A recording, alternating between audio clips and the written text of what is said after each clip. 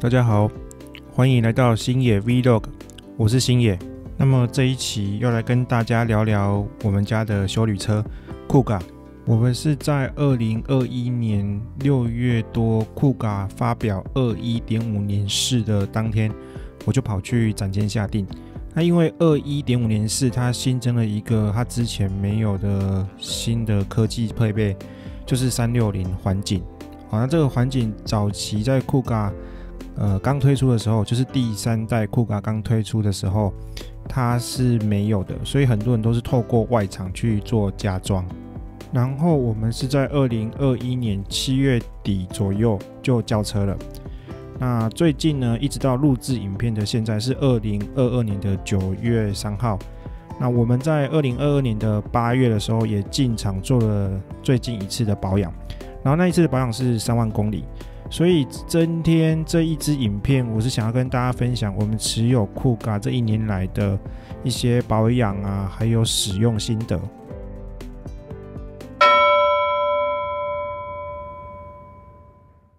至于最多人问的，应该就是开福特的车子，它的妥善率是怎么样？那我入手酷咖这一年以来，呃，已经开了三万多公里。那大家应该都会想要问一个问题，就是说这一年里面有出保过吗？那我可以跟大家讲，有，我出保过一次。出保的项目是避震器。其实我的左后方跟右后方都有渗油。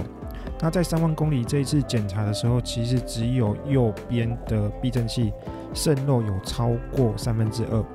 那超过三分之二之后，已经符合原厂的出厂标准。可是左后方的这一支避震器，它目前渗漏还不到三分之二，所以原厂，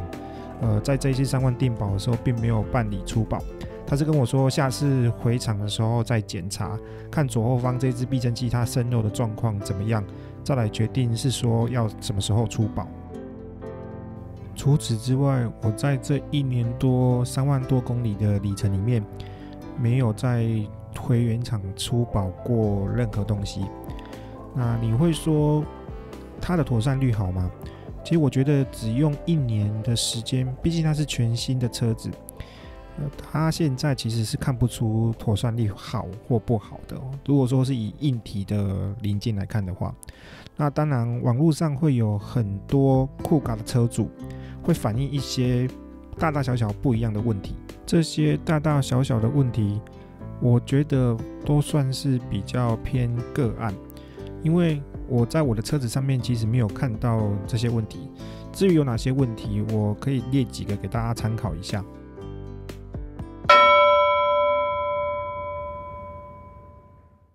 变速箱在低速行驶的时候会有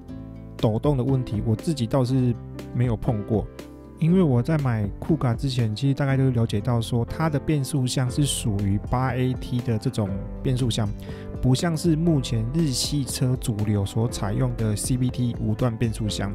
所以相对来说，酷卡在低速行驶的时候，因为它的档位的变换会比较频繁，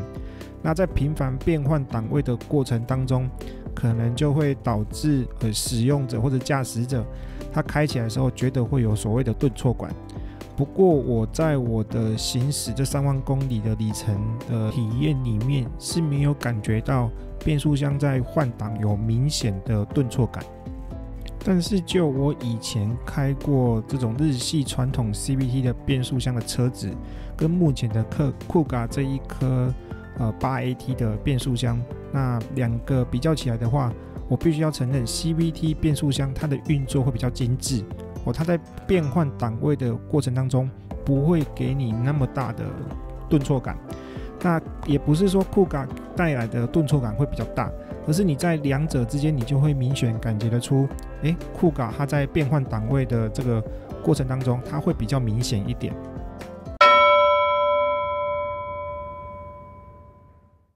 酷卡另外一个比较多人会提起的问题，就是说。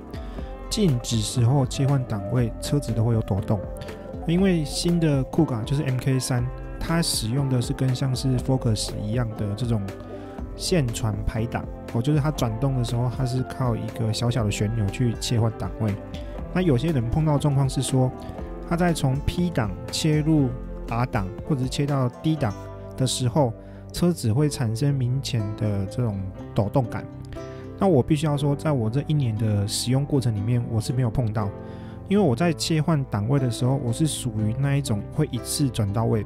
比如说，在呃转盘的上面呢，一端它是 P 档，那 D 档是位在最远的地方，我就是它中间会有 P，然后会经过 R、N、D，然后一直到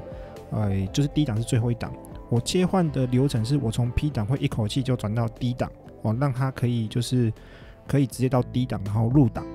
那我在踩踩呃换挡的过程，在静止的时候换挡过程是刹车都会踩住的。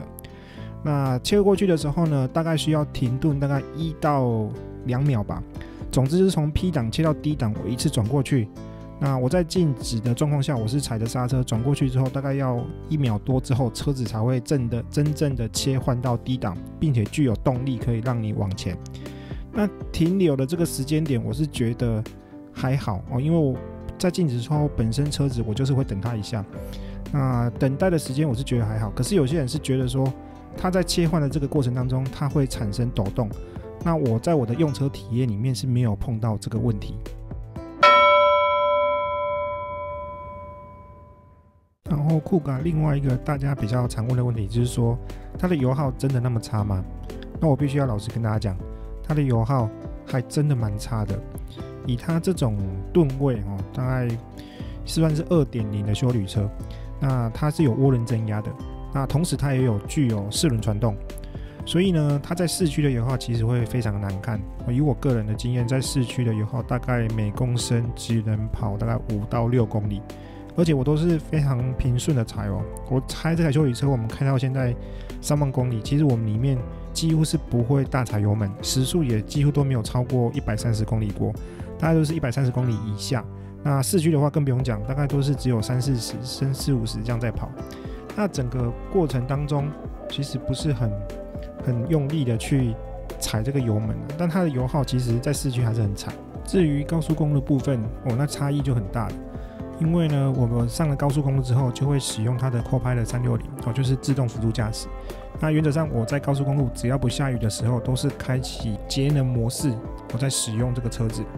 那它的节能模式的状况下，它不会急加速、急减速，然后相对来讲，它的时速，如果你是在国道的设定的上限范围内，比如说佛山是时速一百二十公里之内，或者是像西滨快速道路，它是九十公里，就是速限的上限的话，它的油耗都会表现的还可以。比如说像我常往返台呃台北到嘉义嘛，那我在南下的过程当中，或者是北上，我只要走西滨，它大概就平均可以跑在十八。每公十八公里每公升，我的时速大概就是，我说的是 GPS 的时速，大概就是维持在九十五、九十六左右哦，就是 GPS 的时时速，实际上的表述应该是一百零三、一百零二左右。那它在西滨这边跑，大概是可以跑到十五到十八之间是没有问题的。那如果是国道三号，我的表述大概会在一百二十三，那时速真正的 GPS 时速大概是一百一十七、一百一十八左右。它的油耗大概就会落在平均都在大概十四到十五之间啊。如果沿路有走走停停的话，大概就是十三多。那但是但是我觉得啦，基本上它大概都有十四公里每公升以上的水准在高速公路。如果我前提是你有使用 Copilot 三六零这一套系统，所以我觉得油耗对我来说，我觉得不是说真的很省油。如果你以当今目前的造车工艺来讲的话，这个车子真的不算是很省油。不过你要想。这台车子它是二点零，而且它具有涡轮增压，然后又有三三十八公斤米的扭力，加上它有四轮传动，然后呢，它的钢板结构就是它用的这种呃结构是有到一千七百 m 帕，相对来讲它各种安呃安全系数都比较高，所以我是可以接受它的油耗是相对来讲是比较差一点的。我实际开下来一年三万公里的油耗。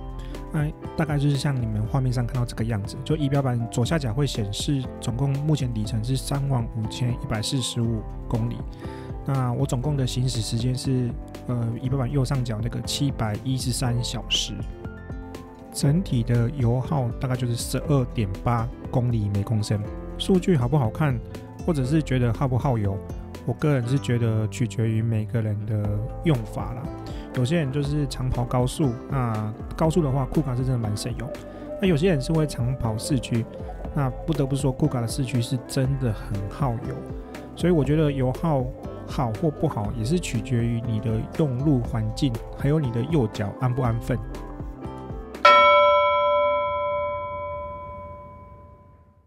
总结来说，我觉得酷卡以一百二十万这个集聚你可以买到的车子来说，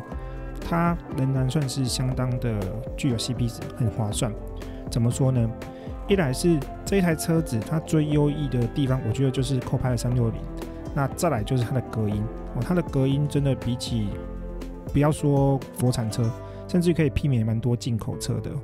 那它的优异的隔音相对于带来的一些优势会有很多，比如说它车内它采用的是十字喇叭哦，BMO 音响。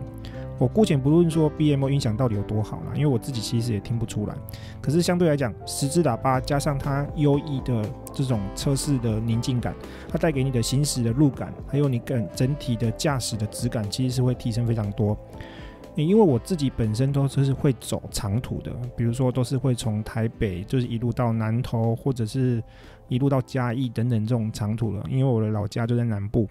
那对于我来说，有扩拍的三六零的辅助，会让我整体的驾驶的这种疲惫感，会从原来的可能是十，会减到只有一，哦，就是会减大概会剩下只有十分之一，因为剩下的大概就是。你只要专心的看路况就好，你不用呃很明显的用脚去控制油门，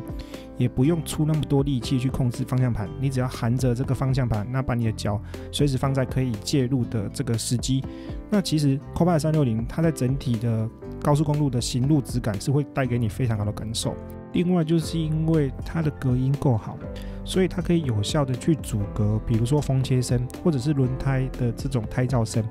那你降低了风切声跟胎噪声有什么好处？第一件事情就是你的音响不用开的那么大声，音响不用开的那么大声，最间接影响的就是你的耳朵。你可以不用被这种这么重的音乐、这么大声的音乐一直轰炸你的耳朵。相对于来讲，你在行驶这种长途的旅程的时候，你的耳朵其实负担量也会变得比较小。就不用一直受到这种高高呃高音量的音乐的这种轰炸，或者是你需要特别用这种声音去压过，比如说风切声或者是胎噪声。那再来就是它会让音乐的品质会提升，因为你车内的噪音少，相对来讲你比较容易听得出音乐里面的其他的细节。当然你要说 BMO 音响也不是什么太高级的音响，或者是什么很好的喇叭，但我必须要讲，BMO 音响在酷感里面。它其实主要带来不是这个音响品质有多好，而是它跟酷卡整体的这个抗噪音哦，这是它的宁静感，它带给你的这种行路质感相辅相成之下，你才会感受得出哦，原来车是宁静这么重要，原来音响在这里面怎么会变得特别好？它不单单只是因为它是 B M O 音响，我觉得对于车子提供的这个宁静的这种测试空间是有很大的这个加分效果。另外，像是电动尾门，我也觉得非常好用，